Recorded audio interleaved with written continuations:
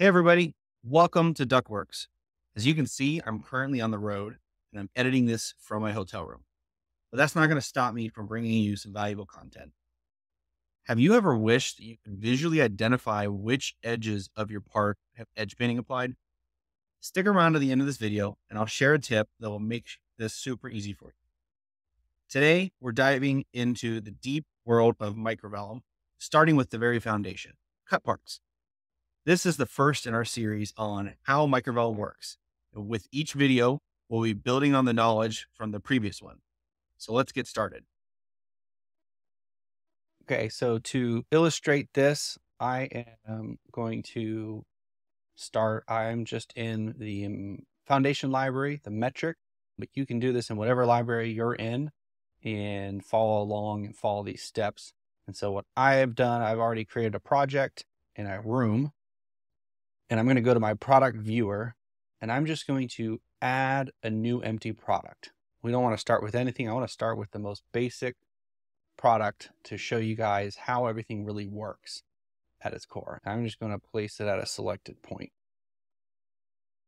I'm just going to click OK. I don't really have anything in there. And what this is going to do is it's literally there's no parts. So there's no height, width, or depth. So there is nothing but an item number here. But from here, what I'm going to do is I'm going to go to my part properties and click on the item number. And it's going to bring up my part properties interface. And this is where we're going to function. So there's three main ways to interact with products in microvellum. You've got part properties, this.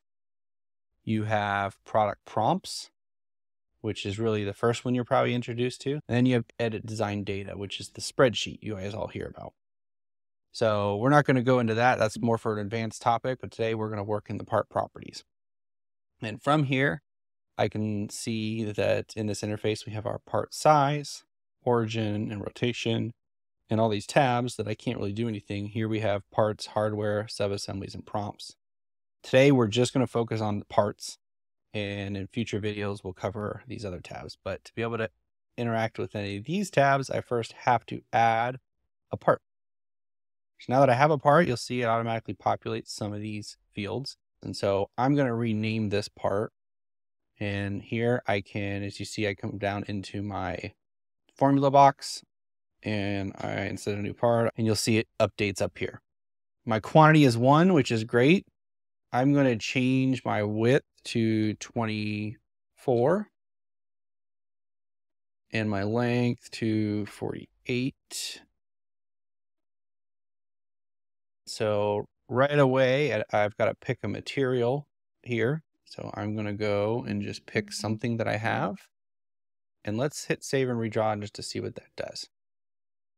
All right, so I made the mistake that I'm in a metric configuration and I was thinking in imperial, but you see it drew me apart 24 by 48 in metric. And so I want to change that actually and you can actually do formulas here. We're not going to get too far into that, but I'm just going to make it easy for myself. 24 times 25.4.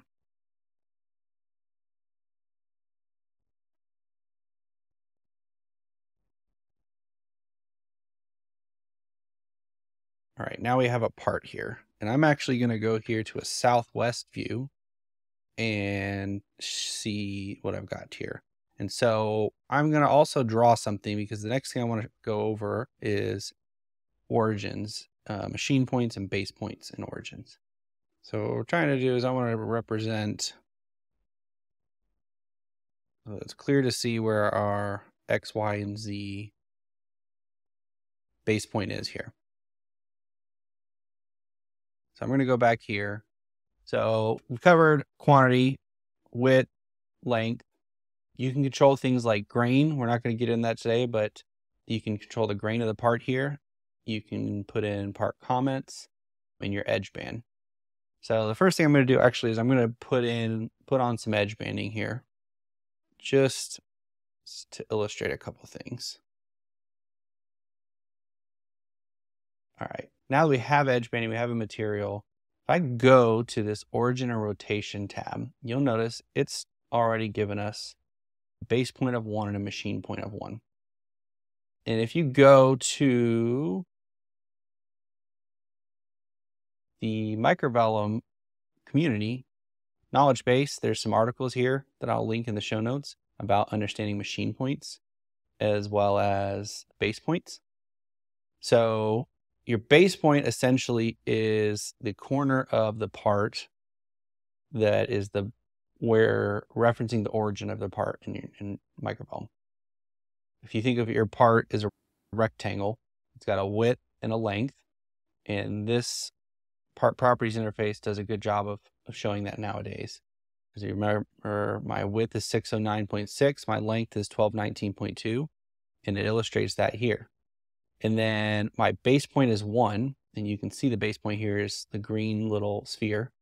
So that corner, corner one, is the corner that if I move and change this X, Y, or Z origin to move the part in relation to the base point of my product, it's based on that corner. And then as I rotate it in X, Y, and Z, it rotates around that point.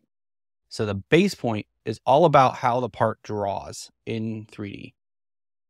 The machine point, alternatively, is about how it machines at your CNC and how the machining tokens are oriented around the part in reference to that machine point.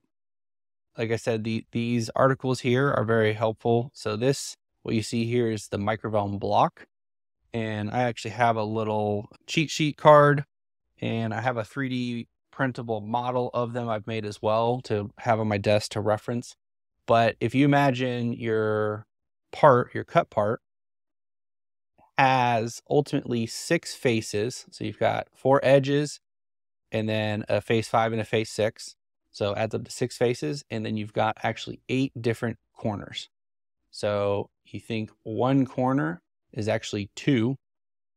One, your first corner is on face five, your second corner is on face six, for example. And if you work around on your face five, you've got corners one, three, five, seven. And on the opposite face, you have two, four, six, eight. And again, you can see all this here on these blocks. And then you can see how as you add parts to each other, each individual part has all those same corners and edges. How do we visualize this? So what that's why I wanted to show this. What happens if I change just the base point from one to two? So you notice something here changed and actually because now my so before when I had this as one you saw how this was green. Now if I change it to two and my machine point is still one this visualizer actually does is your machine point is blue your base point is red and when they're the same they combine to make green.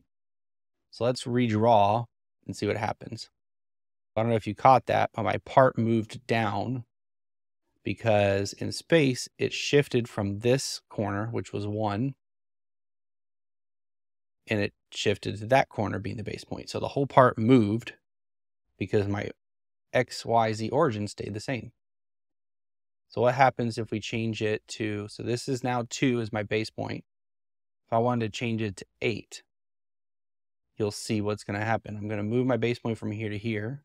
So in my model, it's going to move the whole part over. So this these vertexes, the, the origin stayed the same, but it moved from this corner to this corner. So my part shifted over. And I can go all the way around. So if I go to six, it's going to move over here. So this whole part is going to shift forward again by the part width. So I can go all the way around and move it. Okay, so we understand base point like I said, I can change machine point. So what if I change this to six? You'll notice the drawing doesn't change. The machine point doesn't affect how something draws. It affects, as far as X, Y, and Z origin, it affects machining only. So for what we're talking about here, it doesn't matter. Now, what about rotation? So what if I changed X rotation to 90? So you'll see it rotated and this is my X axis so you'll saw it rotated here. It should rotate around that axis 90. And it went positive 90, which was this way. So what happens if I go negative 90? It flips up. Or again, I'm changing, I'm rotating around the X axis, which as you'll notice is still along here. So my, this is my base point, that corner, and I'm rotating around here. So now if I want to rotate around Y, that's this axis. So if I go positive, it's going to rotate this way around this axis here. This is my Y. Now, what if I do neg negative 90? So it flips down the other way. Oh, I closed it. And you can do the same thing all the way around. I can play with z-axis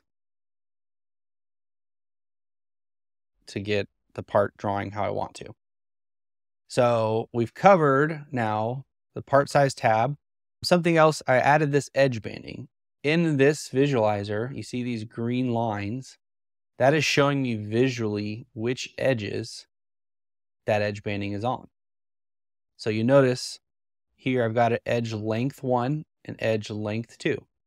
And if I go back to this visualizer, this is length and you'll see the green is here and here. So let's see what happens if I remove one of these. So we only have it on edge length one. So this is our edge length one. It's visually showing you which edge is edge banded. So this is where my base point is down here. So that that edge is my edge length one, and which is here in model space is that edge. So you can use this to see which edges have edge banding. And if I were to go around here and choose an edge banding for all them,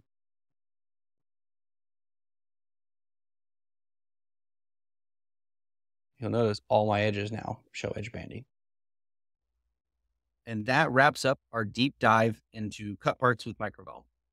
Remember, every new product starts with a single part, and understanding this foundation is key. In our next video, we'll be constructing a cabinet from scratch, part by part. If you found this video helpful, don't forget to hit the like button and follow us for more videos on how Microvellum works. Trust me, you won't want to miss what's coming next.